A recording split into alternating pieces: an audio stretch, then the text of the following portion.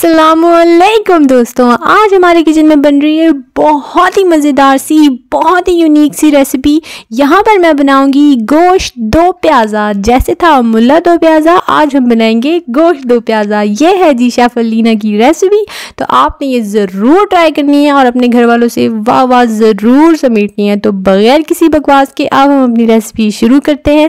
जी, यहाँ पर है हमारे तमाम इन्ग्रीडियंट्स रेडी सबसे पहले मैंने यहाँ पर गोश्त लिया था और पपीता डालकर अच्छी तरह से मैंने उसको उबाल लिया था और उसका रंग भी ख़राब नहीं होने दिया क्योंकि मैंने हल्की आँच पर पपीता डालकर उबाला था।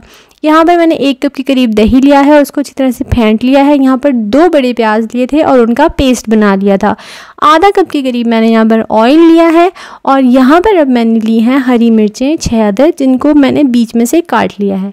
यहाँ पर एक बड़ा लीमू लिया है, जिसका मैं आगे बताऊँगी कि क्या करना है। यहाँ पर है एक टेबल स्पून के करीब अदरक लहसुन का पेस्ट अब हम बनाएँगे जी अपना मसाला। सबसे पहले मैंने इसमें डाला है सूखा धनिया। इसको अच्छी तरह से मोटा मोटा कूट लेना है। ज़ीरे को भी अच्छी तरह से मोटा मोटा कूट लेना है एक टेबल स्पून जीरा और एक टेबल स्पून सूखा धनिया। एक टेबल स्पून हमने इसमें डालनी है हल्दी और एक टेबल स्पून डालेंगे नमक, एक टेबल स्पून पिसी हुई लाल मिर्च, हाफ़ टी स्पून के करीब मैं इसमें डाल रही हूँ गर्म मसाला और एक टेबल स्पून डाल रही हूँ इसके अंदर पिसी हुई काली मिर्चें, पिसी हुई सफ़ेद मिर्चें एक टेबल स्पून और यहाँ पर जा रहा है जी काला नमक बिल्कुल थोड़ा सा हाफ़ टी स्पून और ये है जी चाट मसाला एक टेबल स्पून हमने इसको अच्छी तरह से मिक्स कर लेना है। ये रेसिपी बहुत मज़ेदार है। प्लीज़ ट्राई कीजिएगा।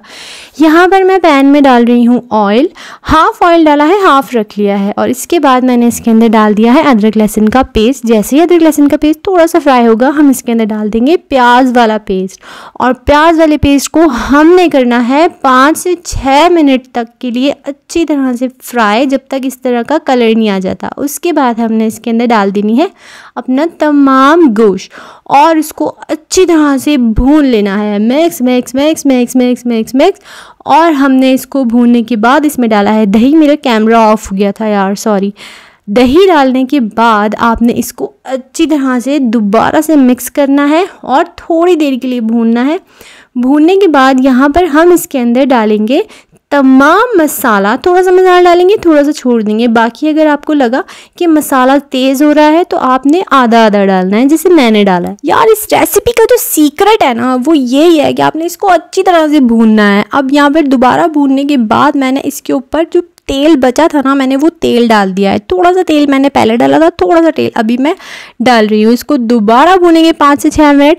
अच्छा जब हमने गोश्त गलाया था ना तो वो जो पानी बचा था ना, हमने वो पानी अब इसके अंदर डाल देना है। मैं तो कोई भी चीज़ वेस्ट नहीं करती, आप भी मत किया करें।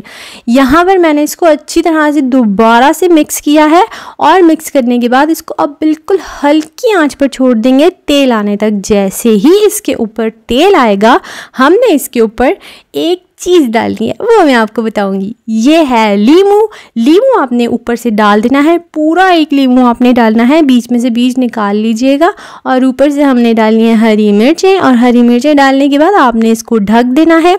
दो मिनट तक आपने इसको बिल्कुल हल्की आँच पर दम पे रख देना है। दो मिनट बाद आपके मज़ेदार सा गोश्त, दो प्याज़ा तैयार है। घर में बनाएँ और मशहूर हो जाए। घर वालों को भी खिलाएँ और बाहर वालों को भी खिलाएँ। लेकिन लेकिन शेफ को ज़रूर याद रखें और उनके चैनल को सब्सक्राइब करते रहें ताकि आप तक नई नई और मज़ेदार मज़ेदार सी वीडियोस पहुँचती रहें बहुत अच्छी अच्छी गुफ्तु के साथ। तो ये जी हमारे बहुत मज़ेदार सी रेसिपी तैयार हो गई है, बहुत मज़े की है, बहुत सॉफ्ट है। सबको इतनी पसंद आई थी कि बस। तो नेक्स्ट वीडियो तक के लिए अल्लाह हाफिज़।